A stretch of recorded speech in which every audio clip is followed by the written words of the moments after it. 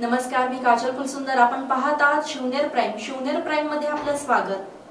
महाराष्ट्र विधानसभा निवडणुकीची रंधुमाळी सुरू होत असताना पक्षविरोधी कारवाया केल्याप्रकरणी शिवसेना जिल्हा परिषद सदस्य आशाताई बुचके यांची शिवसेनेतून हकलपट्टी करण्यात आली आहे.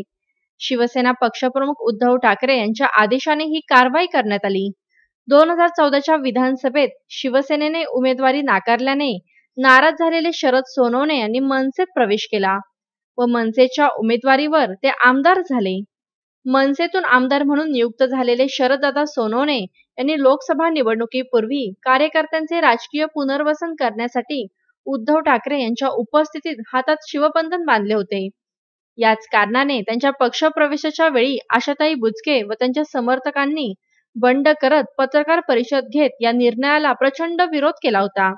शरददादा सोनवणे यांच्या पक्ष प्रवेशाने आशाताई यांना शिवसेना पक्षातून येणाऱ्या विधानसभा निवडणुकीत उमेदवारी नाकारली जाण्याची शक्यता निर्माण झाली होती.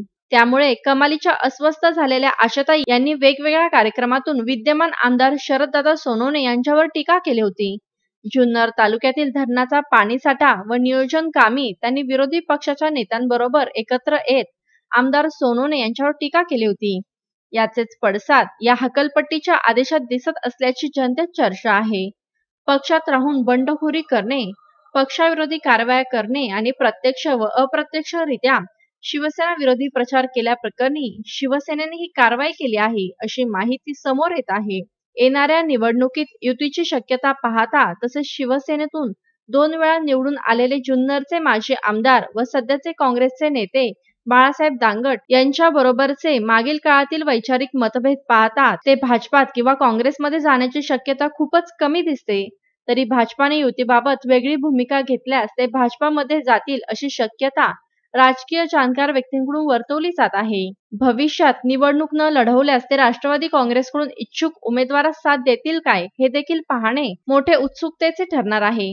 गेली दोन दशके शिवसेना बांधणी करणाऱ्या तसेच माजी खासदार आढळराव पाटील यांच्या अत्यंत विश्वासू सहकारी म्हणून ओळखल्या जाणाऱ्या आशाताईंच्या हकलपट्टीने हा आढळरावांना देखील मोठा राजकीय धक्का असल्याचे मानले जात आहे.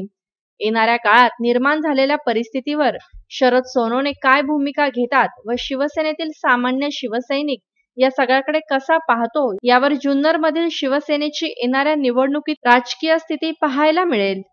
Bureau report Shivner prime Junnar. Shivneri prime type करू सक्सेस करा घंटीच्या बटनावर टिक करा लाईक करा आणि शेअर करा.